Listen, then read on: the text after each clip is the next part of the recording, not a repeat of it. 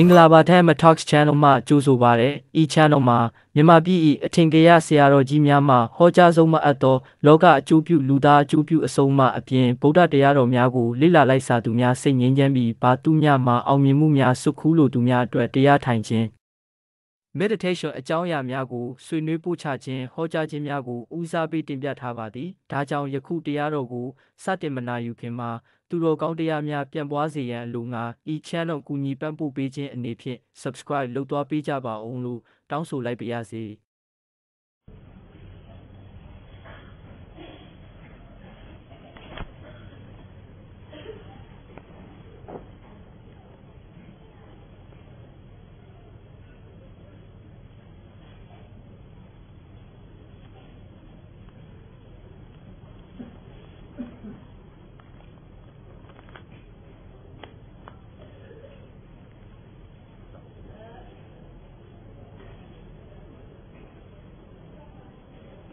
နာတော်နှစ်2558နှစ်ကောဇာတက္ကရာ1385ခုနှစ်တပေါင်းလဆန်း5ရက်2014ခုနှစ်မလ5ရက်စကိုင်းတိုင်းဒေသကြီးကတာမြို့နယ်အမှတ်9ရပ်ကွက်မြရွှေညွန့်မုံဘုရိပ်သာကျောင်းတိုက်ဓမ္မဗိမာန်တော်ကြီးအတွင်ဆင်းရင်ကျင်းပပြုလုပ်အပ်သည့် ဓမ္မသဘင်အခမ်းအနား၌ကတာမျိုးသူမျိုးသားအများစုဤအမတဒါနဓမ္မဒါနအဖြစ်ဖြင့်ဖောကြားအပ်သောအများဤကြီးညိုလေးစားမှုအကြောင်းတရားဒေသနာတော်ဒီကနေ့ညဓမ္မသဘင်ခန္ဓာကိုရှင်ဘုန်းတော်သခင်ရှင်တော်မြတ်ဖရာဤမဟာကရုဏာဂုဏ်ကိုအာယုပြုကာတိကျုဖွဲ့ဆိုအပ်သော ဝန္ဒနာပနာမအာတိတဂါထာကိုရွတ်ဆိုပူဇော်ခြင်းဖြင့်စတင်ကြရအောင်ယောကပကောတိဟိပိအပမေယံကာလံကရွန်တော်တိဒုက္ခရာနိခေယံကတောလောကဟိတယာနာထောနမောမာကာရုဏိကတတတ္တာယောနာထောဝိနိယမြာစွာတတ္တဝါဤ ချမ်းသာစီးပွားလိုလားတောင်းတဂုံပေါင်းခါသည်ဖြင့်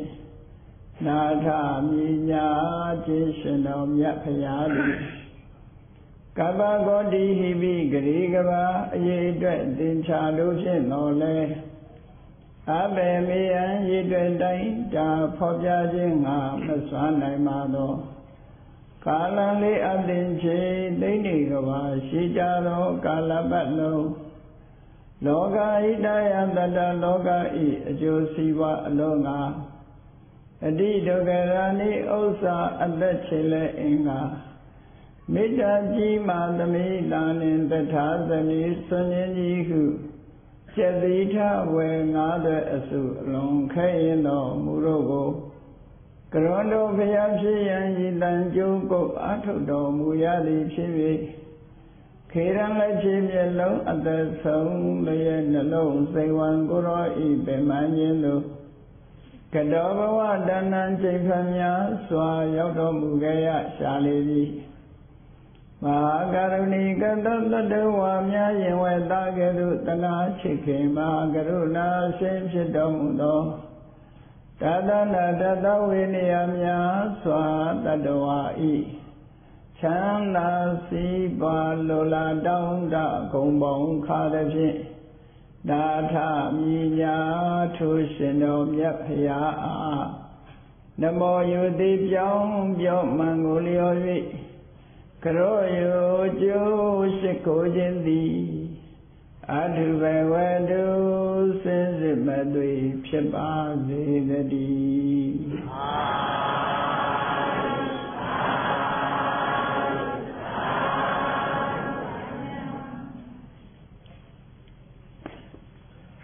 များဤကြည်ညိုလေးစားမှု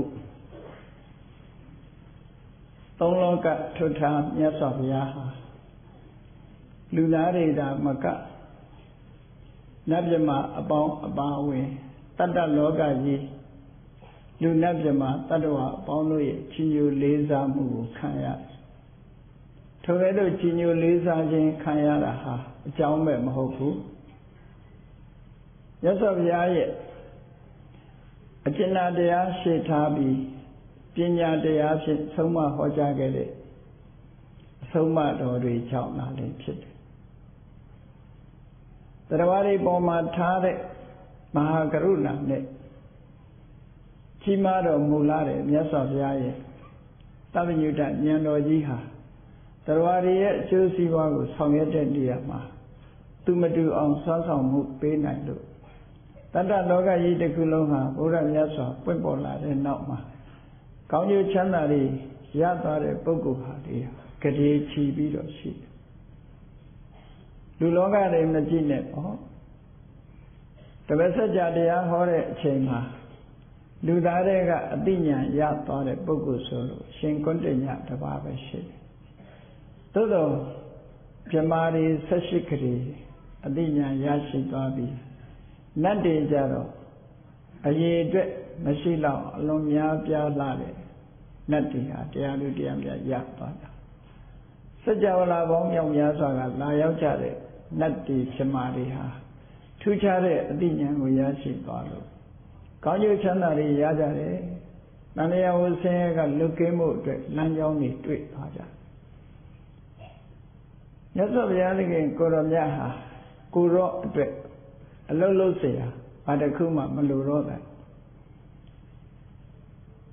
ပါရမီကုသိုလ်တွေစီးပူအထုတ်ပြီးတရားဓမ္မကိုချင့်ကြံကြိုးကုပ်အထုတ်လို့လုပ်เสียတွေအလုံးလုံးပြီးတဲ့ကိလေသာတွေကိုဖယ်ရှားခြင်းဆိုတဲ့လှုပ်ရှားတွေအလုံးလှုပ်ပြီးအတိညာနဲ့သိစရာတွေအလုံးသိရှိပြီးတဲ့နောက်မှာ45နှစ်တာကာလပတ်လုံးဟာတရားရည်ရဲ့အကျိုးစီးပွားကိုသာဆောင်ရွက်တော်မူခဲ့တာဖြစ်ပါတယ် မိမိကိုယ်တိုင်ချမ်းသာဒုက္ခကိုနည်းငယ်များသာခံစားပြီးတော့နေမအားညာမနာဆိုတာကိုတတ္တလောကရဲ့အကျိုးစီးပွားကိုဆောင်ရွက်ခဲ့တာမြတ်စွာဘုရားဟာကဘာမှာအလုံးလုံးဆုံးပုဂ္ဂိုလ်လို့ပြောရမှာဘုရားမြတ်စွာရဲ့အလုံးလုံးမှုကိုကြီးညိုလို့အတူယူအားကြပြီးတော့ဘုန်းကြီးတို့တွေလည်းလှုပ်ကြိုးစားကြရမှာဖြစ်တယ်။တိုင်းပြည်နဲ့လူမျိုးကြီးပွားတိုးတက်ဖို့ဆိုတာ အလုံးလုံးကြမှာဖြစ်တာ။မိမိတို့ကြားရတာဝန်ကို ပြုလုပ်ကြရတယ်။အများကောင်းကျိုးတည်ပိုးမှုဆိုတဲ့လုပ်ငန်းဟာကရုဏာနဲ့မေတ္တာနဲ့အခြေခံပြီးတော့အသိပညာနဲ့ပေါင်းစပ်လိုက်တဲ့အခါမှာအများမှာကောင်းကျိုးချမ်းသာတွေရလာတယ်။အဲ့ဒါကိုရသော်ဘုရားသခင်ကိုရောမြတ်ကလမ်းညွှန်တဲ့အနေနဲ့ဒေသနာတော်တွေကိုဟောကြားဆုံးမတော်မူခဲ့တယ်ဖြစ်ပါ ဘုရားဗဒဝင် သူတော်စင်တွေဟာဘုရားကိုကိုးကွယ်တယ်ဆိုတာဘာအတွက်ကိုးကွယ်တာလဲလို့မေးလို့ရှင်အသိပညာရဖို့ကိုးကွယ်တယ်လို့ဒီလိုဖြေမှမှန်ကန်တဲ့အဖြေဖြစ်တယ်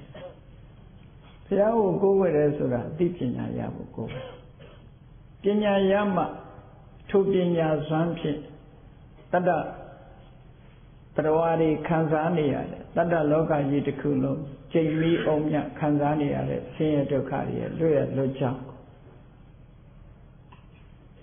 မောက္ခမက္ခလို့ဆိုရယ်လွတ်မြောက်တဲ့လမ်းကြောင်းကိုတွေ့ရှိနိုင်မှာဖြစ်တယ်။ရသော်ဘုရားသခင်ကကဲတင်တယ်လို့ဆိုတဲ့နေရာမှာမှန်ကန်တဲ့လမ်းကြောင်းပေါ်ကိုရောက်ရှိအောင်ဟောပြောပြတာဆုံးမပေးခြင်းမျှတာဖြစ်တယ်။ရသော်ဘုရားကနေပြီး တရားတွေအားလုံးကိုဆွဲပြီးတော့ကောင်းရလူဒီဘုံပို့တယ်ဆိုတဲ့ကတင်နီးနဲ့ကကတင်လို့မရဘူး။ဒါကလက်တွေ့လည်းမကြဘူးဖြစ်နိုင်တာလည်းမဟုတ်ဘူး။ကိုသားသမီးပဲပညာတတ်ကြီးဖြစ်အောင်လုပ်ပါလို့ဆိုလို့ရှိရင်သားသမီးပညာတတ်ကြီးဖြစ်အောင်လုပ်ဖို့အမတန်သားသမီးပုံမှာချစ်ခင်တဲ့မိခင်တွေဟာမိခင်ဖခင်ကျေးဇူးရှင်တွေဟာသားသမီးပညာတတ်ကြီးဖြစ်စေခြင်းလို့ရှိရင် ကျောင်းကောင်းကောင်းထားပေးဖို့ဆရာကောင်းကောင်းအနံပေးဖို့လိုအပ်တဲ့ငွေကြေးတနာထောက်ပံ့ဖို့ထီးတယ်မပို့ဒါတော့ပဲလုပ်ပေးနိုင်တာအေးပညာတတ်ဖို့ဆိုတာသူကိုယ်တိုင်ကြိုးစားရမယ်အပိုင်းရှိတယ်ပေါ့သူကမကြိုးစားဘူးဆိုလို့ရှိရင်မိဘတွေတင်ပေးတဲ့လမ်းကြောင်းပေါ်မလျှောက်လမ်းဘူးဆိုလို့ရှိရင်တော့သူဟာပညာတတ်ကြီးဖြစ်ရောက်လာမှာမဟုတ်ဘူးဒါကလက်တွေ့ကြတဲ့အရာပဲ မြတ်စွာဘုရားသခင်ကိုတော်မြတ်ကတရားရည်ရဲ့ဆင်းရဲဒုက္ခလွတ်မြောက်ရာနောက်ဆုံးပန်းတိုင်လို့ခေါ်တဲ့နိဗ္ဗာန်ဆိုတာရှိတယ်ဆိုတာညွှန်ပြတယ်အဲ့ဒီနိဗ္ဗာန်ဆိုတဲ့လမ်းပေါ်နိဗ္ဗာန်ဆိုတဲ့အင်းငိမ့်နဲ့သာဝရငြိမ့်နဲ့အငြိမ့်တဲ့ဘုရားဘာသာဝင်တွေအမြဲတမ်းမျှော်မှန်းပြီးဆုတောင်းကြတဲ့နိဗ္ဗာန်လို့ဆိုတဲ့တဏှိဒုက္ခသာဝရငြိမ်းချမ်းတဲ့နိဗ္ဗာန်ဆိုတာကို ရောက်ရှိတည်နိုင်တဲ့နိလန်းကိုလည်းမြတ်စွာဘုရားကညွှန်ပြတယ်နိဗ္ဗာန်ဆိုတာရှိတယ်ဆိုတာလည်းညွှန်ပြတယ်နိဗ္ဗာန်ကိုဘယ်လိုရောက်နိုင်တယ်ဆိုတာကိုလည်းအပြည့်အဝညွှန်ပြထားတယ်သို့တော့တရားအလုံးဟာနိဗ္ဗာန်ရောက်သွားကြရောလားသူဘယ်ရောက်လဲဘာလို့မရောက်လဲရသော်ဘုရားရဲ့အပြစ်မဟုတ်ဘူးဒါ ကတာမျိုးရှည်လန်းကလာလို့လည်းရတယ်ကုန်းလန်းကလာလို့လည်းရတယ်ကတာမျိုးနေတဲ့ပုဂ္ဂိုလ်တွေကအေးကတာမျိုးဘယ်ကနေသွားရတော့ဆိုယထာစီနဘာယထာကနေကတာယထာစီလာခဲ့ရင်လည်းကုန်းညောင်းကရောက်တယ်အေးပဲအေယာဝတီမြေချောကသင်္ဘောနဲ့ဆန်တက်လာလို့ရှိရင်လည်းရောက်နိုင်တယ်လို့ဒီလိုလမ်းညွှန်မှုပြုတယ်သွားတဲ့လူမှရောက်မှာပေါ့မသွားတဲ့လူပဲရောက်မှာလေ အဲ့ဒီတိုင်းပဲမြတ်စွာဘုရားကနိဗ္ဗာန်ကိုလည်းဟောတယ်နိဗ္ဗာန်ရောက်ချောင်းတရားကိုလည်းဟောတယ်ထိုလမ်းကြောင်းပေါ်လျှောက်တဲ့ပုဂ္ဂိုလ်မှနိဗ္ဗာန်ရောက်မှာမလျှောက်ရင်မရောက်ဘူးဆိုတာဒါလက်တွေ့အပြင်ထင်ရှားဒီစကားကိုမြတ်စွာဘုရားကဥပမာပေးပြီးတော့ခောပကမောဂလနာပုံနာကြီးကိုရှင်းလင်းဖော်ပြထားကြတာရှိတယ်အဲ့ဒီပုံနာကြီးကမြတ်စွာဘုရားကိုမေးတယ်အရှင်ဂေါရမ နိဗ္ဗာန်ကိုဟောတယ်တဲ့နိဗ္ဗာန်ရောက်ကြောင်းတရားတွေကိုလည်းဟောတယ်တဲ့တရားတွေအလုံးနိဗ္ဗာန်ရောက်ကြရဲ့လားလို့ဆိုမြတ်စွာဘုရားကပြန်မေးတယ်အေးဒီမေးခွန်းနဲ့ပတ်သက်ပြီးမင်းကိုပဲပြန်မေးခွန်းထုတ်မယ်မင်းဟာရာဇဂိုမြို့ပြည်မှနေတာဖြစ်လို့ရာဇဂိုမြို့ရှိတယ်ဆိုတာလည်းပြောပြတယ်ရာဇဂိုမြို့ကိုဘယ်လမ်းကသွားရရင်သွားရင်ရောက်တယ်ဆိုတာလည်းပြောပြတယ်ဟုတ်ပြီ မင်းပြောတဲ့အတိုင်းရာဇဂိုမြို့ရုပ်တဲ့လမ်းကြောင်းပေါ်တက်ပြီးတော့ရာဇဂိုမြို့ဖြောင်းဖြောင်းတန်တန်သွားတဲ့လူတွေရောက်ပြီးတော့နောက်ပြန်သွားတဲ့လူတွေရောက်ပါမလားဘယ်ရောက်မလဲဗျာတဲ့အေးအဲ့ဒါလိုပဲမြတ်စွာဘုရားကနော်ငါကနိဗ္ဗာန်ကိုဟောကြားထားတယ်နိဗ္ဗာန်ရောက်အကြောင်းတရားကိုလည်းညွှန်ပြတယ်သို့တော်ဒီလမ်းကြောင်းပေါ်မတက်ဘူးဆိုလို့ရှိရင်တော့ဘယ်သူမှ ဘယ်ရောက်နိုင်လဲလို့ဒီလိုရှင်းပြခဲ့တဲ့တုတ်တန်တစ်ခုခောဘကမောဂလနာတုတ်တန်ဘယ်ရာပဲဖြစ်ဖြစ်ကိုယ်တိုင်လုပ်ရမယ့်အလုပ်ဆိုတာရှိတယ်ဆိုတာအမှန်တမ်းထင်ရှားတယ်ပေါ့အဲ့ဒီမှာနိဗ္ဗာန်မရောက်တာမြတ်စွာဘုရားရဲ့အပြစ်လည်းမဟုတ်ဘူးနိဗ္ဗာန်ရဲ့အပြစ်လည်းမဟုတ်ဘူးလမ်းကြောင်းရဲ့အပြစ်လည်းမဟုတ်ဘူးမိမိကိုယ်တိုင်မသွားခြင်းရဲ့အပြစ်သားလည်းဖြစ်တယ်လို့ဒီလို ကိုယ့်ဘက်ကလိုအပ်ချက်တွေကိုဘုန်းကြီးတို့တွေမရှိအောင်ကျင့်ကြံကြိုးကိုအားထုတ်ကြဘုရားဘာသာဝင်သူတော်စင်တွေဟာရသော်ဘုရားရဲ့အဆုံးအမကိုရခြင်းလို့ဘုရားကိုကိုးကွယ်ကြရသော်ဘုရားကဘာတွေဆုံးမတော့ဆိုကိုယ်ဝေရအဖြစ်ခံဖို့ရအတွက်မြတ်စွာဘုရားကဆုံးမတာဟိတေပဝတ္တနေနအာဟိတာသနေဝတ္တနေနလို့ဆိုတဲ့အတိုင်းမြတ်စွာဘုရားလမ်းညွှန်မှုပြုတာ ကောင်းကျိုးချမ်းသာကိုဖြစ်ပေါ်စေနိုင်တဲ့အကြောင်းတရားတွေတတ္တဝါတွေရဲ့တဏ္ဍာမှာဖြစ်အောင်တိုက်တွန်းတယ်မကောင်းကျိုးကိုပေးတတ်တဲ့အကုသိုလ်တရားတွေကိုရှောင်ရှားဖို့မြတ်စွာဘုရားတိုက်တွန်းတယ်ဆောင်းရံနဲ့ရှောင်ရံဒီနှစ်ခုကိုလမ်းညွှန်မှုပြုခြင်းအဖြစ်ရသော်ဗျာလမ်းညွှန်တဲ့အဆုံးအမတိုင်းရှောင်စရာကိုရှောင်ဆောင်းစရာကိုဆောင်းမှသာလေကောင်းကျိုးချမ်းသာရမှာဖြစ်တယ်အဲ့ဒါလိုမဟုတ်ဘဲနဲ့ ဖြောင်းပြန်လုပ်နေမယ်ဆိုလို့ရှိရင်တော့ဘယ်သူမှကောင်းကျိုးချမ်းသာမရနိုင်ဘူးဒါကဖရာနဲ့မဆိုင်ဘူးလို့ပြောရအဲ့တော့မြတ်စွာဘုရားရဲ့သွန်သင်ဆုံးမမှုတွေဟာအလွန်လက်တွေ့ကြတယ်မြည်သည့်ပုဂ္ဂိုလ်ပဲကျင့်ကျင့်နော်လူမျိုးမရွေဘာသာမရွေအမျိုးသားအမျိုးသမီးမရွေမြည်သည့်ပုဂ္ဂိုလ်ပဲဖြစ်ဖြစ်သက်သော်ဗျာအဆုံးမတိုင်လိုက်တာကျင့်သုံးလို့ရှိရင်ကျိုးရှိ ကျိုးရှိဘာသာမရွေဆိုတဲ့အထဲမှာရသော်ဘုရားကိုကိုးကွယ်မှုမပြုတဲ့ပုဂ္ဂိုလ်ရောရသော်ဗျာဟောကြားဆုံးမတဲ့လမ်းကြောင်းပုံကိုရှောက်ရင်နိဗ္ဗာန်ရောက်နိုင်ပါမလားလို့မေးလို့ရှိရင်ရသော်ဗျာကိုယ်တိုင်ဟောထားတဲ့ဥထုံပရိကသုတ်တံဆိုတာရှိတယ်အဲ့ဒီဥထုံပရိကသုတ်တံမှာမြတ်စွာဘုရားပရပိုက်တွေကိုပြောတယ်ပရပိုက်ကျောင်းကိုသွားပြီးတရားဟောတာအဲ့ဒါလို့ဟောပြီးမဂ္ဂင်၈ပါးအကျင့်တရားရှင်းပြလို့ ပရပိုက်တွေကိုဘာပြောတော့ဆိုရင်အေးငါအခုလို့လာပြီးတော့ရှင်းပြနေတာငါတရားလို့ထင်ကြလိုက်တယ်လာပြီးတော့မဲဆွယ်တယ်လို့ထင်ကြလိုက်တယ်ငါတို့ကိုမူလဆရာရဲ့ဒီပင်ကို tradition လို့ခေါ်တယ်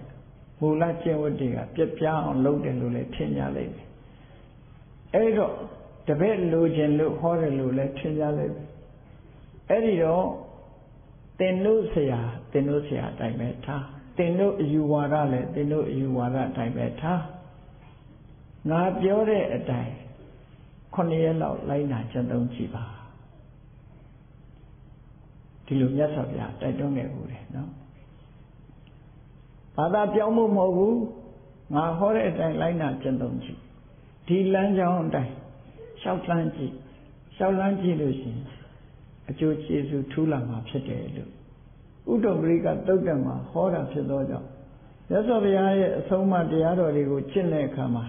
ဘာသာတစ်ခုပြောင်းပြီးတော့ဘုရားကိုကိုးကွယ်မှတရားထူးရမယ်လို့ဒီလိုဆိုလိုတာမဟုတ်ဘူး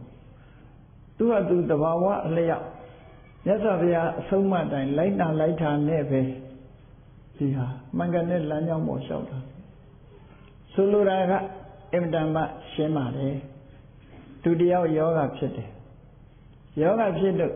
ယောဂပျောက်စေနိုင်တဲ့ဆေးကိုဆရာကပေးတယ်အဲ့ဒီဆေးကိုယုံသည်ဖြစ်စေမယုံသည်ဖြစ်စေတောက်တယ်ဆေးတောက်ရင်ယောဂပျောက်မှာပဲအဲ့ဒီလိုယောဂပျောက်တာဟာဘယ်သူမှယောဂပျောက်တာလဲဆိုရင်တောက်တဲ့လူတိုင်းယောဂပျောက်တယ်ဒီလိုဆိုတာပေါ့နော်တောက်တဲ့လူတိုင်းယောဂပျောက် ရသော်ဘုရားရဲ့တရားတော်ဟာလည်းပဲလိုင်းနာကျင့်သုံးတဲ့ပုဂ္ဂိုလ်တိုင်းပုဂ္ဂိုလ်တိုင်းဟာအကျိုးကျေးဇူးကိုဖြစ်မှာရစေနိုင်တာပဲအဲ့ဒါကိုမြတ်စွာဘုရားကဆုံးမဩဝါဒပေးတာသာဖြစ်တယ်မြတ်စွာဘုရားဟောသမျှတရားတွေဟာတကယ်သဘာဝအစစ်မှန်ကိုဟောတာဖြစ်သောကြောင့်ဟောသမျှတရားတွေကိုဓမ္မလို့ပြောတာကအဓိပ္ပာယ်ရှိတယ်နော်မြန်မာလူမျိုးတွေကဓမ္မကိုတရားလို့ဘာသာပြန်လိုက်တဲ့အခါ မူရင်းအဓိပ္ပာယ်ဟာမပေါ်ဘူးဖြစ်တယ်ပေါ့ဓမ္မဆိုတဲ့အဓိပ္ပာယ်ကဘာလဲလို့ဆိုရင်အတ္တနောတဘာဝံဓာရေတိတိဓမ္မောမိမိရဲ့ကိုယ်ပိုင်တဘာဝကိုစွမ်းဆောင်တဲ့အရာဆောင်ထားတဲ့အရာပင်ကိုယ်တဘာဝအတိုင်းရှိတဲ့အရာလို့ဒီလိုဆိုတာနော်တဘာဝကိုဆောင်တာအဲ့ဒီတဘာဝကိုဆောင်တဲ့အရာဆိုတာအမျိုးမျိုးရှိတယ်နောက်ဆုံးမှာ ဓမ္မံတရဏံကိစ္ဆာမိဓမ္မကိုကိုယ်ဝေရအဖြစ်တိမှပြုပါတယ်လို့ဆိုတဲ့ကိုယ်ဝေရအဖြစ်တိမှပြုတဲ့တရားကြတော့ဒီတရားတွေရဲ့ဆင်းရဲဒုက္ခကလွတ်မြောက်ဖို့ရအတွက်စွမ်းဆောင်မှုအပေးနိုင်ဆုံးတရားဟာဘာလဲလို့ဆိုရင်မလေးပါဖို့လေးပါနိဗ္ဗာန်ဒီလိုဆိုတာပေါ့နော်အဲ့ဒါကြတော့အတ္တနောဓာရင်တေစတုတု အပါယေတုအပဒမဏိကတ္တဝါဓာရေတိဒီတရားကိုလိုက်နာကျင့်သုံးတဲ့ပုဂ္ဂိုလ်မြည်သူပဲဖြစ်ဖြစ်လူမျိုးမရွေးဘာသာမရွေးအမျိုးသားအမျိုးသမီးမရွေးဟောဒီတရားကိုလိုက်နာကျင့်သုံးမယ်ဆိုရင်တဲ့ဒီတရားကအပယ်လေးပုံမကြအောင်ဆွဲဆောင်ထားနိုင်လိမ့်မယ်လို့ဒီလိုပြောတာဒါကတဘာဝပဲလေမှန်တယ် ယုံသည်ဖြစ်စေမယုံသည်ဖြစ်စေစေးတော့ရင်ယောဂပြောင်းမယ်ဒီဒိဋ္ဌိမျိုးပဲမှန်ကန်နေတာဒီလိုဖြစ်တာဘာကြောင့်ဖြစ်တာလဲဆိုမှန်ကန်လို့ဖြစ်တာရသော်ဘုရားဟောတဲ့တရားဟာသွားခါတမှန်မှန်ကန်ကန်ဟောတာလွဲမှားတာတခုမှမပါဘူးတဘာဝအစစ်မှန်ကိုဟောတာဖြစ်တယ်ဟောတတ္တဇီဝမဟုတ်ဘူးတဘာဝတရားတက်တဲ့ကိုမြတ်စွာဘုရားဟောတယ် ထိုတဘာဝတရားတက်တဲ့မှာလိုက်နာရမယ်တဘာဝတရားရှောင်ကျင်ရမယ်တဘာဝတရားခွဲခြားဟောတယ်အဲ့ဒီလိုလိုက်နာရမယ်တဘာဝတရားတွေဟာစွမ်းကုန်အဆင့်မြင့်လာတဲ့တဘာဝတရားတွေကြတော့အပယ်လေးပုံကိုမကြအောင်ဒီတဘာဝကပဲထိတ်မြတ်စွာဘုရားကငါကအပေမကြအောင်အာမခံတယ်လို့ဟောတာမဟုတ်ဘူးတရားကိုလိုက်နာမယ်ဆိုရင်တရားကအပေလေးပေါင်မကြအောင်ထိန်းတာ ဘယ်သူကထိန်းလို့ဆိုကိုကျင့်တဲ့တရားကိုထိန်းတာဒီသဘောကိုနားလည်ဖို့လိုတယ်ပေါ့ဖះကိုကိုးကွယ်တယ်ဆိုတာဘာအတွက်ကိုးကွယ်တာလဲလို့မေးရင်အတိညာရဖို့ကိုးကွယ်ရသော်ဘုရားရဲ့အဆုံးအမကိုကြည့်အတိညာနဲ့ရလာနိုင်တယ်ဘာလို့ရမယ်ဆိုတာနားလည်လာတယ်ဘဝအကြောင်းကောင်းကောင်းသိလာတယ်ကိုယ်ဘဝလမ်းကြောင်းကိုယ့်ဘာကိုဘယ်လိုရှောင်လန်းရမယ်ဆိုတာတွေအသိဉာဏ် လောကလူတွေဟာအသိဉာဏ်မရလို့ရှိရင်ယုံကြည်မှုတွေကိုယ်ဝယ်မှုတွေလွဲမှားသွားတယ်ဟိုလူအားကုန်မယ်ဒီလူအားကုန်မယ်နော်ဟိုဟာကိုယ်ဝယ်မယ်ဒါကိုယ်ဝယ်မယ်ဆိုတဲ့အခါမှာကိုကိုးဝယ်တဲ့အတိုင်းဆွမ်းဆောင်မှုမပေးနိုင်ဘူးဆိုလို့ရှိရင်ကိုကျိုးနေတာပေါ့ကိုကတော့ကိုးဝယ်လိုက်ရတာအာကိုတကြီးနဲ့ကိုးဝယ်လိုက်ရ လက်ဒီဆရာတော်ဘုရားကြီးရေးထားတဲ့ပရမတ္ထဒီပဏီကျမ်းထဲမှာတတိပြုစရာလေးတစ်ခုပြောပြမိကိုးွယ်တဲ့ပုံနာကြီးတယောက်မိကိုးွယ်တယ်ဆိုတာမွေးတဲ့နေ့ကလေးကမိလေးကိုမငိမ့်အောင်ထိမ့်သိမ့်ထားတယ်မိရိုးရိုးမိပါပဲအခုခေတ်တော့ထိမ့်ဖို့လွယ်တယ်ပေါ့အဲ့ဒီခေတ်တုန်းကတော့မငိမ့်အောင်ထိမ့်ဖို့ဆိုတာတော်တော်ခရီးဆိုင်ရခုခေတ်တော့ ဒီ gas နဲ့ထားလိုက်မယ်ဆိုရင်တော့မိမငိမ့်တာလွယ်တယ်ပေါ့နော်ဟိုခေတ်တုန်းကတော့မိသွေးနဲ့မိကြီးနဲ့ထင်းနဲ့ဒီလိုထားမှာအဲ့ဒါမငိမ့်အောင်ထားပြီးတော့မလုပ်လဲဆိုရင်နေ့စဉ်နဲ့အမျှထောပတ်တို့ဘာတို့လောင်းထားတဲ့ထင်းနေနဲ့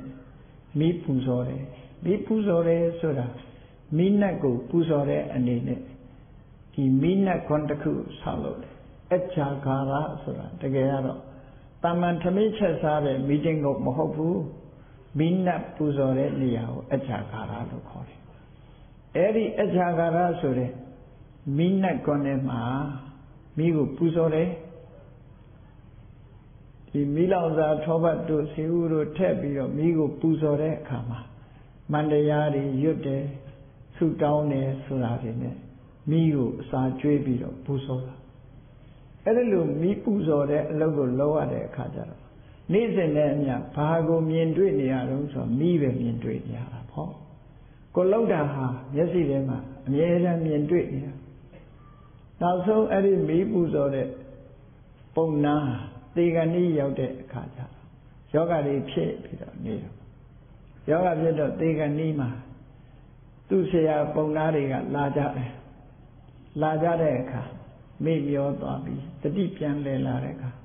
ဘာတွေတွေ့တော့ဘာတွေမြင်ရတော့ဆိုတာကိုပြောတဲ့အခါမီးတွေလောင်းနေတာမြင်ရတယ်ပေါ့အေးဒါဖြစ်မင်းမီးရဲ့အစွမ်းနဲ့ဗြမဘုံရောက်မှာပဲလို့ပြောတာအဲ့ဒီမီးဟာမင်းပူဇော်တဲ့မိပဲပြမဘုံရောက်မှာပဲလို့ပြောတဲ့အခါကျတော့သူကဝမ်းတာပြီးတော့အဲ့ဒီမိကပဲအာယုံပြုတာသူမြင်တဲ့မိကပြမပြေကမိမဟုတ်ပဲနဲ့အဝိဇိငရဲကမိဖြစ်နေ နော်အဲ့ဒါနဲ့သေသွားတော့ပဲရောက်သွားတော့ဆိုအဝိဇိငရဲရောက်သွားတဲ့ဒီလိုလဲရှိသေးတယ်နော်လွဲမှားသွားပေါ့အရေးကြီးတာကဒီပူဇော်တယ်ဆိုတဲ့နေရာမှာကုသိုလ်ဖြစ်မဲ့နေရာမျိုးပူဇော်ရကုသိုလ်စိတ်ဟာစိတ်ထဲမှာဖြစ်တဲ့လိုက်နာကျင့်သုံးမှုလမ်းကြောင်းမှန်ကန်ဖို့အရေးကြီး လွဲမှားစွာဟောဟောပြောထားတဲ့ဆိုရင်လမ်းကြောင်းကလွဲချော်သွားနိုင်တယ်ပေါ့အဲ့ဒီလွဲချော်သွားတဲ့လမ်းကြောင်းကိုလိုက်မိပြီဆိုလို့ရှိရင်အကောင်းထင်ပြီးလုပ်ရင်အဆိုးဖြစ်မယ်အဆိုးထင်ပြီးရှောင်ရင်လည်းအကောင်းဖြစ်လာနိုင်တယ်ဆိုကြောက်เสียလွန်ကောင်းနေဒါကြောင့်မို့မိစ္ဆာဒိဋ္ဌိပရမာဏိတာဝိဇ္ဇာနိလောကမှာအပြစ်ရှိတဲ့တရားတွေထဲမှာမိစ္ဆာဒိဋ္ဌိဟာအဆိုးဆုံးပဲ မှန်ကန်တဲ့အမြင်ရဖို့အရေးကြီးတယ်လို့ဒီလိုမြတ်စွာဘုရားကဟောကြားခဲ့တာရှိဟောမှန်ကန်တဲ့လမ်းကြောင်းမို့တက်ဖို့ရအတွက်မှန်ကန်တဲ့အမြင်ရဖို့လိုအပ်တယ်ပေါ့မြတ်စွာဘုရားကမှန်ကန်တဲ့လမ်းကြောင်းတွေကိုဟောထားတယ်အဲ့ဒီဟောထားတဲ့လမ်းကြောင်းတွေကိုကိုယ်တိုင်ကမှန်ကန်တဲ့အမြင်တစ်ခုရရရဖို့အတွက်အရေးကြီးဆုံးအကြောင်းနှစ်ခုရှိတယ်အတွင်းအကြောင်းကတစ်ခုအပြင်အကြောင်းကတစ်ခု internal condition လို့ခေါ်တယ်အတွင်းအကြောင်း external conditions အပြင်ဘက်ကအကြောင်းအတွင်းနဲ့အပြင်နှစ်ခုပေါင်းစပ်မှအကြောင်းတစ်ခုအကျိုးတစ်ခုရလာရလတ်တစ်ခုဖြစ်ပေါ်လာအဲ့ဒါကဘာလဲလို့ဆိုရင်မှန်ကန်တဲ့အမြင်တစ်ခုရဖို့ရအတွက်ပရတောခောတာလို့ဆိုတယ်မြတ်စွာဘုရားရဲ့ဟောကြားဆုံးမတဲ့တရားဓမ္မကိုကြားနာရမှုပါဒါ ပြင်ဘက်ကအကြောင်းတစ်ခုပဲအဲ့ဒီဆုံးမမှုကိုရရှိလာပြီးတဲ့နောက်မှာအတွင်းအကြောင်းကဘာလို့ဆိုရင်ယောနိသောမနတိကာရယောနိသောမနတိကာရဆိုတာမိမိကိုယ်တိုင်ကမှန်မှန်ကန်ကန်နှလုံးသွင်းနိုင်မှုစဉ်းစားနိုင်မှုသူဆိုတာပေါ့နော်အဲ့ဒါလို့မှန်မှန်ကန်ကန်နှလုံးသွင်းနိုင်မှုစဉ်းစားနိုင်မှုဆိုရင်ယောနိသောမနတိကာရရဲ့ ပရတောခောတာဆိုတဲ့မှန်ကန်တဲ့တရားဓမ္မကြားနာရမှုဒီနှစ်ခုပေါင်းစပ်လိုက်ပြီဆိုတော့မှတမ္မာဒိဋ္ဌိမှန်ကန်တဲ့အမြင်တစ်ခုဆိုတာဖြစ်ပေါ်လာနိုင်တယ်လို့ဒီလိုဆိုတာပေါ့ဒါကြောင့်မို့လို့ခုလို့မှန်ကန်တဲ့အမြင်တွေရဖို့ရအတွက်ဒီရသော်ဘုရားသာသနာတော်မှာဘုရားမြတ်စွာဟောကြားတော်မူခဲ့တဲ့တရားတော်တွေဆရာတော်တွေကတစ်ဆက်ဟောပြောပြီးတော့ပေးကြ အဲ့ဒီတရားကိုကြားနာခြင်းအားဖြင့်ရသော်ဘုရားဟောကြားထားတဲ့တရားဓမ္မတွေကိုဘုရားဟောတဲ့အတိုင်းထုတ်ဖော်ဟောကြားလို့အဲ့ဒီတရားတွေကိုကြားနာခြင်းအပြင်ပရတောခောတဆိုတဲ့ဇာဘူးနာဝတုတ္တအကျဉ်းရလာမိမိကိုယ်တိုင်ကမမှန်ကန်ကန်နှလုံးသွင်းဆင်ញလိုက်မယ်ဆိုလို့ရှိရင်တော့တမ္မာဒိဋ္ဌိဆိုတဲ့အမြင်မှန်တစ်ခုကိုရလာလိမ့်မယ်အဲ့ဒီအမြင်မှန်ရမှုအတွက်ဘုရားကိုကိုးကွယ်တာ ဘုရားကိုကိုးကွယ်မှဓမ္မကိုသိမယ်ဒါကြောင့်မို့မြတ်စွာဘုရားကသူ့ကိုကိုးကွယ်တယ်လို့ဆိုတဲ့နေရာမှာအဓိကကဘာလို့ဆိုတရားကိုအဓိကထားတာဝဂလိမထေကိုမြတ်စွာဘုရားဆုံးမတာကြည့်ယောဓမ္မံပတ္တိသောမံပတ္တိဓမ္မကိုတွေ့မှငါ့ကိုတွေ့မယ်ဆိုလိုတာက ဓမ္မံတရဏံဒုသမိယမြတ်စွာဘုရားဟောကြားတဲ့အဆုံးအမစကားအတိုင်းလိုက်နာကျင့်သုံးလို့တရားဓမ္မကိုသိရှိပြီဆိုတဲ့အခါမှာဖះဆိုတာကိုလည်းအမှန်ကန်သိတယ်ဒီလိုဆိုတာပေါ့နော်တရားကိုသိဖို့ဆိုတာအသိဉာဏ်ရှိမှသိတာရသော်ဘုရားကတရားသိဖို့အတွက်ဘုရားကိုယုံကြည်တယ်ဆိုတဲ့တရားတရားကိုဖွင့်ဆိုတဲ့အခါမှာ တတ္တဟတိတထာဂတတဘောဓေယုံကြည်တယ်လို့ဆိုတဲ့နေရာမှာတခြားဘာသာတွေနဲ့မတူတဲ့ယုံကြည်မှုကဘာတော့တခြားဘာသာတွေမှာမိမိတို့ကိုးကွယ်ရာဒီကောင်းကင်ဘုံကတကုရှင်ကြီးကိုယုံကြည်တယ်လို့ဆိုတာဟာအစွမ်းတကုယုံကြည်တာမှာဖြစ်တယ်အနန္တတကုကိုယုံကြည်ကြတာဖြစ်တယ်ဘုရားဘာသာတွေယုံကြည်တယ်ဆိုတာဟာ အနန္တတကုကိုယုံတာမဟုတ်ဘူးဘာကိုယုံရမှာတော့ဆိုရင်ဘုရားမြတ်စွာရဲ့အတိညာကိုယုံကြည်တယ်လို့ဒါဘုရားအဆုံးမအဲ့လိုဆုံးမငါတကူကိုယုံကြငါအစွမ်းတတ္တိတွေကိုယုံကြလို့ဒီလိုမဟုတ်ဘူးမြတ်စွာဘုရားကတတ္တဟတိတထာဂတတဘောဓေတထာဂတတမြတ်စွာဘုရားဤသူကိုသူရည်ညွှန်းတာငါဘုရားရဲ့ဘောဓေအတိညာကိုတတ္တဟတိယုံကြည်တယ် ဒီအတိညာကိုယုံကြည်ရမယ်လို့ဒီလိုဆိုအသိဉာဏ်ကိုယုံကြည်တဲ့ပုဂ္ဂိုလ်မှာဘုရားစကားကိုနားထောင်ဓမ္မကိုယုံကြည်တယ်ဆိုတာဖြစ်ပါမြတ်စွာဘုရားကဟောတာဓမ္မဘုရားရဲ့အဆုံးအမဟာဓမ္မအဲ့ဒီဓမ္မကိုယုံကြည်သွားမှဓမ္မအတိုင်းလိုက်နာကျင့်သုံးပါဓမ္မအတိုင်းလိုက်နာကျင့်သုံးမှသံဃာဝဆဲကလွတ်မြောက်တယ်ကောင်းကျိုးချမ်းသာတွေရတယ်ဆိုတာဖြစ်မှာလို့ဒီလိုဆိုတာပေါ့ဟောအေးဒါကြောင့် ဘုရားဘာသာဝင်သူတော်စင်နေနေနဲ့ကိုသွားရမယ်ကိုလုံးရမယ်လုံနဲ့ပတ်သက်ပြီးရှင်းရှင်းလင်းလင်းကြီးကိုသိရှိနားလည်နေဖို့လိုအပ်တယ်ပေါ့ရသော်ဗျာဟောတဲ့ဒေသနာတော်တစ်ပုဒ်ကိုဒီကနေ့ဆုံးမဩဝါဒဒေသနာတစ်ပုဒ်ဘုန်းကြီးတို့တူလိုက်နာကျင့်သုံးမှုပြုကြရအောင်ရသော်ဗျာကနေရာတိုင်းနေရာတိုင်းမှာဥတီချက်ကတော့ သစ္စာ၄ပါးနဲ့နိဗ္ဗာန်ကိုဥတီဟောတာတွေရှိတယ်သို့တော်လည်းမြတ်စွာဘုရားဟောကြားတဲ့တရားဓမ္မတွေဟာလက်ရှိဘဝကောင်းကျိုးချမ်းသာရစေဖို့ဟောတာရှိတယ်။တံပရာယိကလို့ဆိုတဲ့တမလွန်ဘဝကောင်းကျိုးချမ်းသာရဖို့ဟောတာရှိတယ်။ဒီတဲ့တာလွန်ပြီးနိဗ္ဗာန်ချမ်းသာကိုမျက်မှောက်ပြုဖို့လို့ဟောတာရှိတယ်အဲ့ဒါလို့တရားရည်ရဲ့ဇယိုက်အလိုက်အကြိုက်အလိုက်ရသော်ဘုရားသခင်ကိုရောမြတ်ဟာ ကဲနိုင်သမျှကဲတယ်လို့ဆိုအမှာပေါ့တန်ရတန်ရလိုက်နာကျင့်သုံးတဲ့တရားရည်ရဲ့လိုက်နာကျင့်သုံးမှုရဲ့အတိုင်းအတာတစ်ခုရအကျိုးဖြစ်ထွန်းမှုဆိုတာရှိကြတယ်ဟုတ်တယ်လေလူတိုင်းဟာတူညီတဲ့အရေးချင်းရှိတာမှမဟုတ်တာတူညီတဲ့အရေးချင်းမဟုတ်မရှိသည့်အတွက်ကြောင့်တူညီတဲ့အကျိုးကျေးဇူးဆိုတာတော့ဖြစ်နိုင်ဘူးတကယ်လို့ကျောင်းတစ်ခုမှာကျောင်းသားတွေထောင်ချီပြီးတော့သင်တန်းပို့ကြတယ်ထင်တယ် အကုန်လုံးကျောင်းသားတွေဘွဲရတာမှမဟုတ်တာပညာရေးထူးချွန်တာမှမဟုတ်တာထူးချွန်တဲ့ပုဂ္ဂိုလ်အနည်းငယ်သာပေါ်လာတာဖြစ်တယ်ပေါ့ဒါပါဖြစ်လို့အရေးချင်းမတူလို့လို့ဒီလိုပြောရမှာသင်တဲ့ပုဂ္ဂိုလ်နဲ့ဆိုင်လားမဆိုင်ဘူးပညာရနဲ့ဆိုင်လားမဆိုင်ဘူးသူတို့ရဲ့ကိုယ်ပိုင်အရေးချင်းနဲ့သာဆိုင်အဲ့ဒီတိုင်းပဲ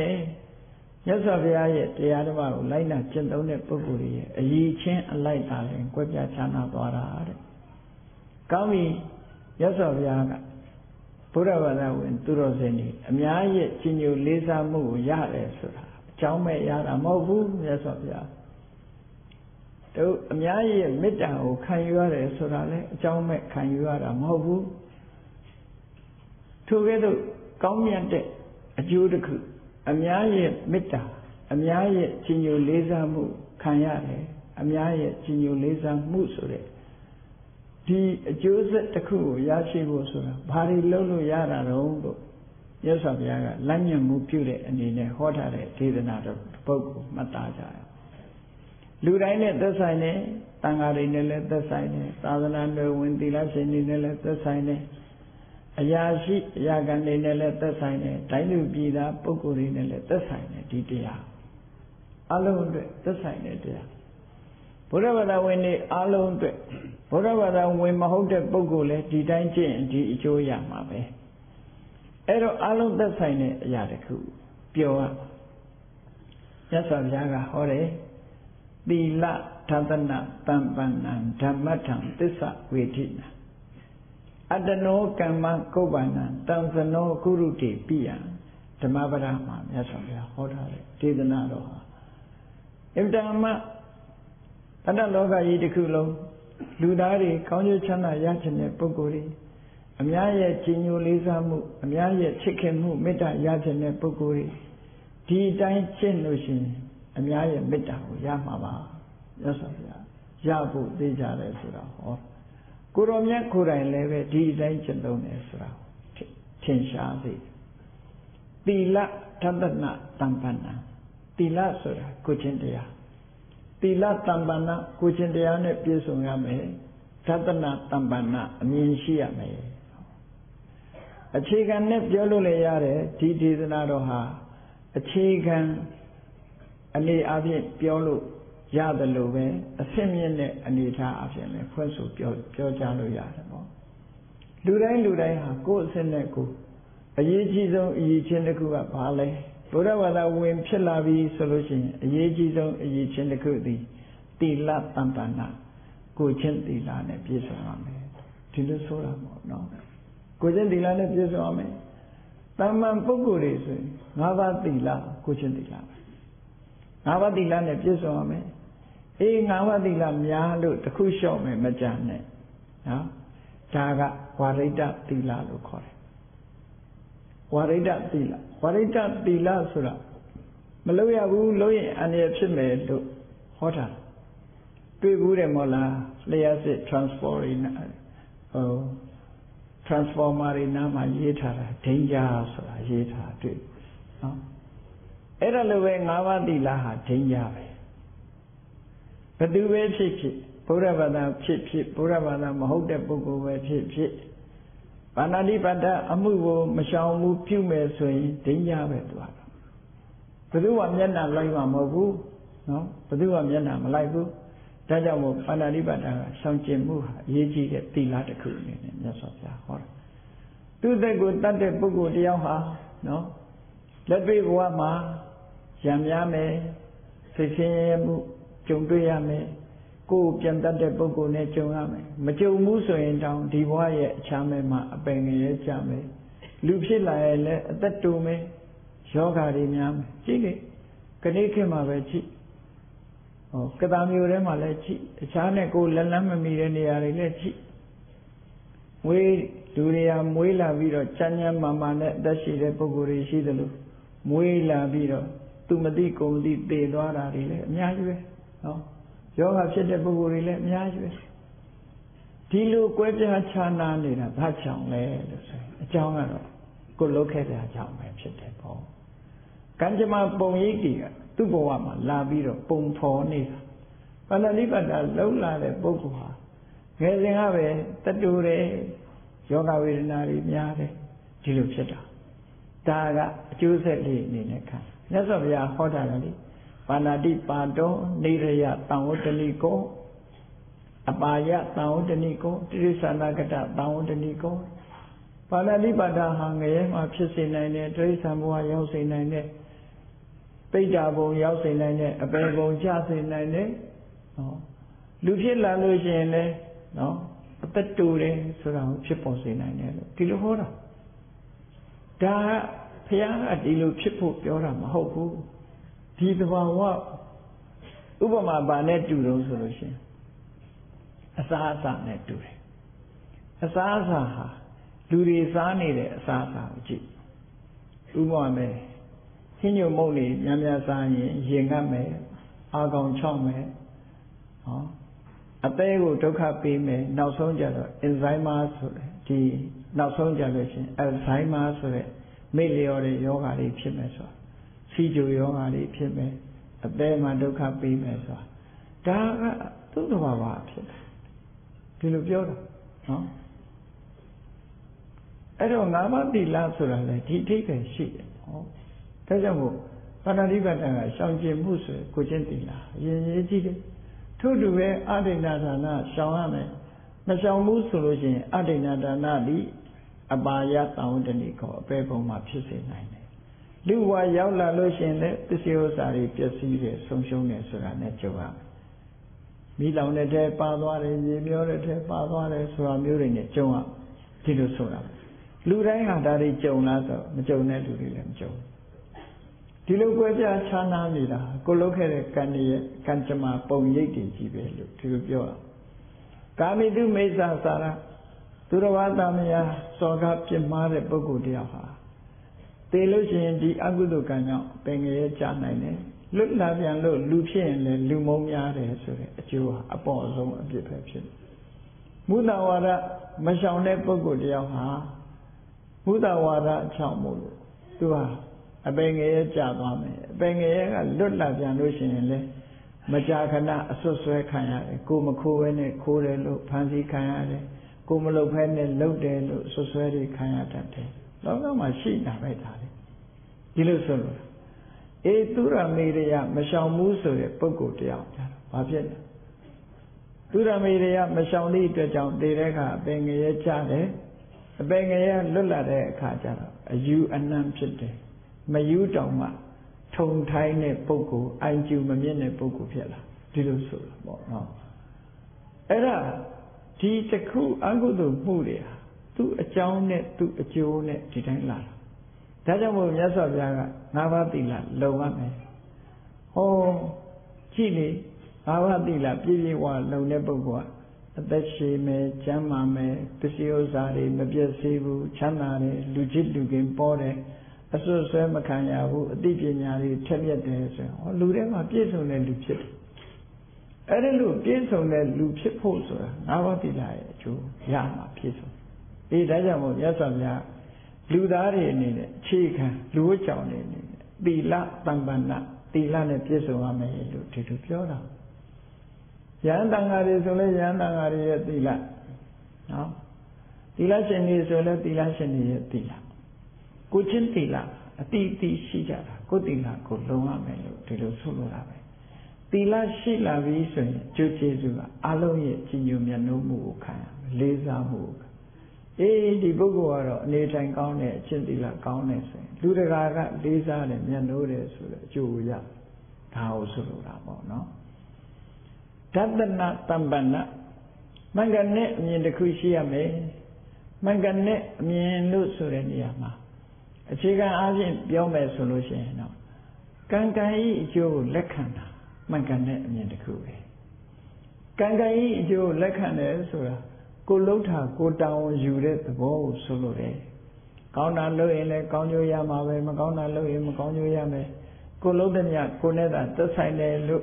ဒီလိုလက်ခံထားတဲ့ပုံကိုယ်တယောက်ဟာမကောင်းတာဘယ်တော့မှမလုပ်ဘူးကောင်းတာပဲလုပ်လူတော်လူကောင်းဖြစ်ဖို့ရှိဒါကြောင့်ဓတ္တနာလို့ဆိုတာကာမတက္ကတာတမ္မာဒိဋ္ဌိဓာတ်နဲ့ဖြစ်စွာ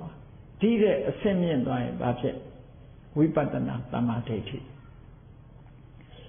အာရိမုဂ္ဂရိတ်တာမှာမုဂ္ဂဆရာတော်ဘုရားကြီးရဲ့ဥပနိဒေယအတိုင်းဟောနေတယ်ဝိပဿနာတမ္မာဒိဋ္ဌိဝိပဿနာဉာဏ်ဘယ်လိုရအောင်လုပ်အောင်လဲကျင့်ကြံချုပ်ကိုအားဟောဝိပဿနာတမ္မာဒိဋ္ဌိဝိပဿနာတမ္မာဒိဋ္ဌိဉာဏ်ရမှငါဆိုတာပြောက်မယ်အတွေးပြောက်မယ်ငါဟာဆိုတဲ့အတွေးပြောက်မယ်ငါငါဟာဆိုတဲ့အတွေးပြောက်မှတောကတွေ့တာမှုတွေပြောက်မယ်တွေ့တာမှုပြောက်မှတောကပြောက်ပြီးတော့ရင်တွင်ငြိမ်းချမ်းမှာဖြစ်တယ်ပေါ့အကြောင်းကဒီလိုဆက် ဒါကြောင့်မို့ဓတနာဆိုရယ်ဝိပဿနာဉာဏ်မြင်တယ်လည်းပြည့်စုံရမယ်ဒီတဲ့အဆင့်မြင်လာလို့ရှိရင်နိဗ္ဗာန်ကိုမြင်တဲ့ဓတနာမက္ခသမ္မာဒိဋ္ဌိဖလသမ္မာဒိဋ္ဌိဆိုတာနိဗ္ဗာန်ကိုမြင်နိုင်တယ်နိဗ္ဗာန်ချမ်းသာဆိုတာဘယ်လိုဖြစ်တယ်ဆိုတာအဲ့ဒီလိုမြင်သည်ထိအောင်ဓတနာတမ္ပန္နအမြင်နဲ့ပြည့်စုံရမယ်။တမ္မာအပြင်ပြောမယ်ဆိုလို့ရှိရင်ကြည့်အများကောင်းကျိုးဆောင်ရွက်နေကြတဲ့ပုဂ္ဂိုလ်တွေဟာ ဘု து လောကရဲ့ကောင်းကျိုးဆောင်ရွက်တဲ့အခါမှာမှန်ကန်တဲ့အမြင်ရှိဖို့လိုအပ်တယ်ပေါ့။အမျော်မြင်ရှိရမယ်။ခဏပြည်တော်စုမြန်မာနိုင်ငံတော်နော်တိုးတက်အောင်ကြိုးစားနေကြတာကိုလူမျိုးတွေအားလုံးဟာလူတိုင်းလူတိုင်းဟာဒီကိုယ်နိုင်ငံကိုယ်လူမျိုးကိုယ်ဘာသာသာသနာကြီးပွားတိုးတက်ဖို့ကြိုးစားနေကြတဲ့နေရာမှာအမျှော်မြင်ဟာအရေးကြီးတယ် ပေါ့။မျှော်မြင်မှုမှန်ကန်စွာမြင်မှုကိုအခြေခံပြီးတော့လုံးဝကြီးပွားတိုးတက်မှုဆိုတာဖြစ်နိုင်တယ်ပေါ့။မှန်ကန်တဲ့အမြင်တစ်ခုရှိဖို့လိုအပ်တယ်။ဒါလောကီရေးနဲ့ပတ်သက်လည်းပဲကိုချင်းတိလကောင်းရမယ်အမြင်မှန်ရမယ်အမြင်ရှိရမယ်ဒီလိုဆိုတော့စီးပွားလုပ်တဲ့ပုဂ္ဂိုလ်လည်းအမြင်ရှိရစီးပွားရေးနဲ့ပတ်သက်လည်းပဲသီလရှိရမယ်နော်မလိမ်ရဘူးမကောင်းရဘူးမညစ်ရဘူး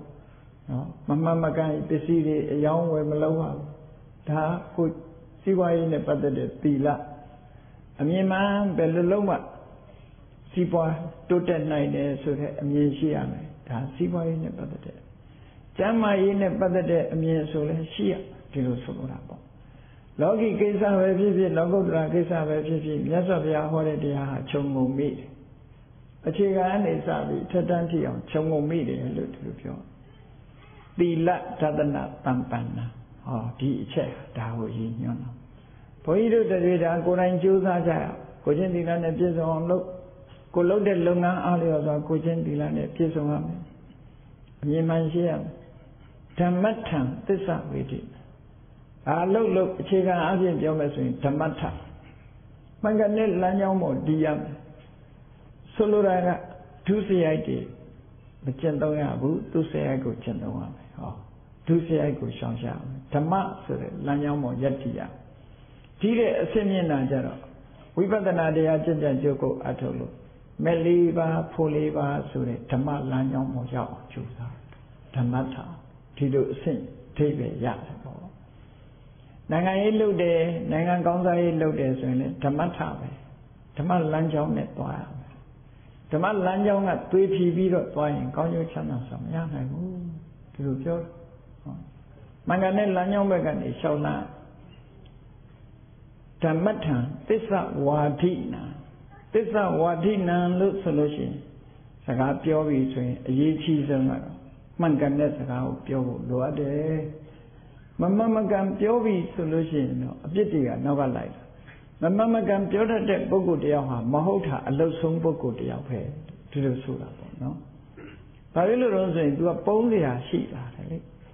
ဘာလို့လို့ तू ကလိန်လိုက်ရင်ပြီးတာပဲလေ။လိန်လိုက်ရင်သူ့မှာပုံးခိုစရာရှိနေတော့ဘယ်တော့မှအမှန်မပြောမမမကန်လေးကြီးပဲပြောတယ်။ဒါကြောင့်မမမကန်မလို့ကမပြောရဘူးသစ္စာဝါဒိနာမှန်မှန်ကိုပဲပြောရနောက်တနည်းကတော့သစ္စာဝေဒိနံဆိုလို့ရှိရင်တော့အမှန်တရားကိုသိရမယ်ဘယ်ကိစ္စပဲဖြစ်ဖြစ်အမှန်တရားကိုသိတယ်ဆိုတာဘာလဲပြဿနာတစ်ခုဖြစ်လာလို့ရှိရင်ပြဿနာဆိုတာကိုသိရမယ် ဒီပြဿနာဘာကြောင့်ဖြစ်ရတယ်ဆိုတဲ့အကြောင်းကိုသိရမယ်ဒီပြဿနာဘယ်လိုငြိမ်းသွားတယ်ဆိုတာသိရမယ်ဒီပြဿနာဘယ်လိုငြိမ်းအောင်လုပ်ရမယ်ဆိုတာကိုသိရမယ်ဒါသစ္စာလေးပါပဲလေယောဂဖြစ်တယ်ဆိုရင်လည်းယောဂအကြောင်းကိုသိရမယ်ဒီယောဂဘာကြောင့်ဖြစ်တယ်ဆိုတဲ့အကြောင်းကိုသိရမယ်ဒီယောဂကုစားပြောင်းလဲမှုကိုသိရမယ်ဘယ်နည်းနဲ့ပြောင်းနိုင်တယ်ဆိုတဲ့ဆေးကိုသိရမှာဟော သစ္စာလေးပါးဆိုတာမြတ်စွာဘုရားဟောထားတဲ့သစ္စာလေးပါးတဏှာဥက္ကလွတ်ဖို့ဆိုတာလေဒီတိုင်းပဲလေဒုက္ခဆိုတာကိုသိရမယ်အဲ့ဒီဒုက္ခဘာကြောင့်ဖြစ်လာတယ်ဆိုတဲ့အကြောင်းတရားကိုသိရမယ်အဲ့ဒီဒုက္ခဘယ်နေရာမှာနောက်ဆုံးချုပ်ငြိမ်းသွားတယ်ဆိုတာသိရမယ်အဲ့ဒီချုပ်ငြိမ်းတဲ့နိလန်းဆိုတာကိုလည်းသိရမယ်ဒါကိုဆိုလိုတယ်ဓမ္မထံသစ္စာဝေဒိနာဟောပြည့်စုံလုံလောက်တဲ့အရေးချင်းတစ်ခုပဲပေါ့ဒီလိုဆိုလိုတာပေါ့ နောက်တစ်ခုကဘာလို့ဆိုအတ္တနောကမ္မခုတ်ခန္ဓာလူတိုင်းလူတိုင်းဟာကိုယ်ပိုင်အလုပ်တွေရှိဘုန်းကြီးတို့တွေ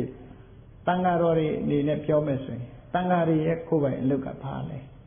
မြတ်စွာဘုရားအဆုံးအမတွေကိုသင်ယူရမယ်ပို့ချရမယ်ဟောပြောရမယ်ဒါတန်ဃာတွေရဲ့အလုပ်မြတ်စွာဘုရားအဆုံးအမတွေကိုမိမိတို့ကိုယ်တိုင်ကရှင်းဥစွာသင်ယူရမယ်သင်ယူပြီးတဲ့အခါမှာမိမိတို့ရဲ့ တပည့်တွေပြန်ပြီးပို့ချပေးရမယ်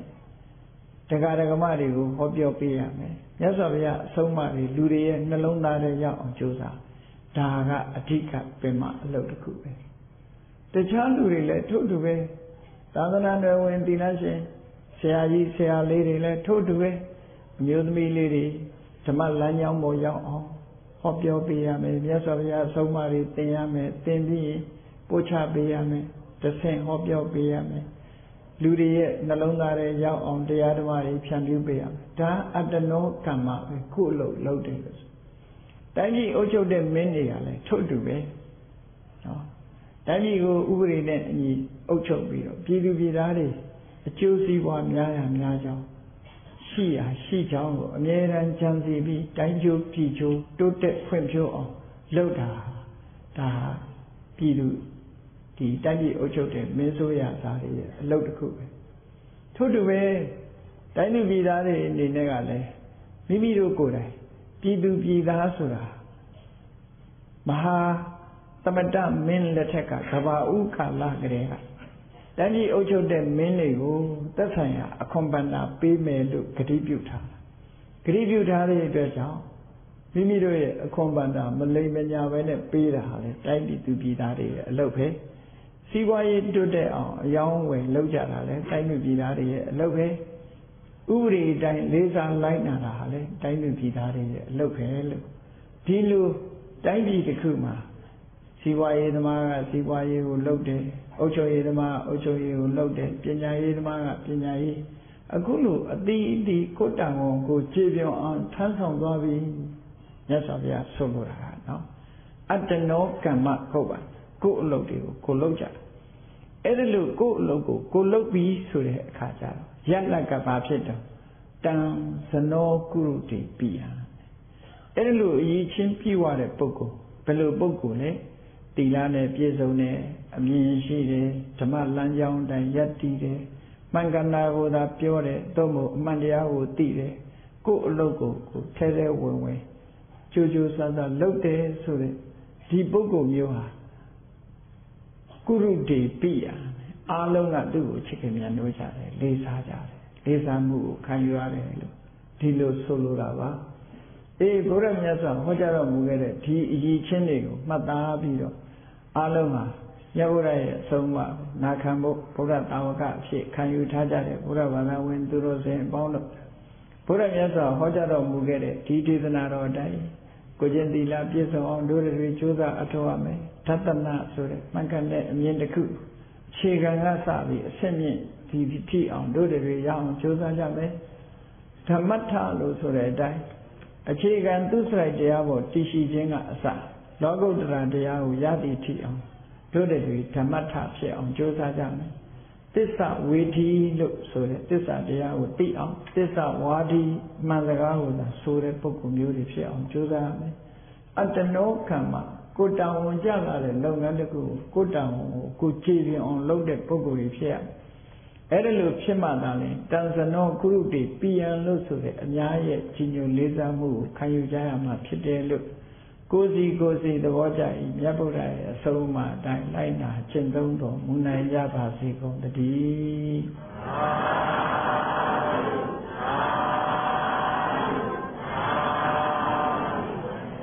မေတ္တာပို့ရအောင်တတဝါများစွာသိရန်กว่า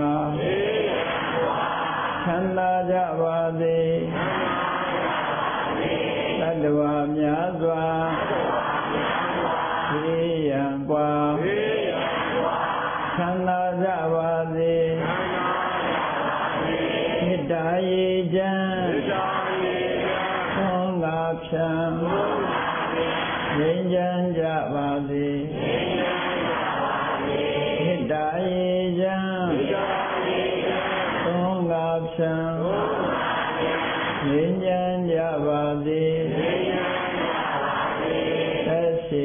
မ်းမာစိတ်ချမ်းသာဘုရားဆန္ဒပြပါစေသက်ရှိချမ်းမာစိတ်ချမ်းသာတို့ရဆန္ဒပြည့်ပါစေဖုံလန္တာဒုက္ခပင်ကစားမေတ္တာပုံနေဒုသင်္ကမ မနောတရတိတဝေတံဘဝယံဒုဒုက္ခနကမေတ္တာပုံနေဒုသင်္ကမ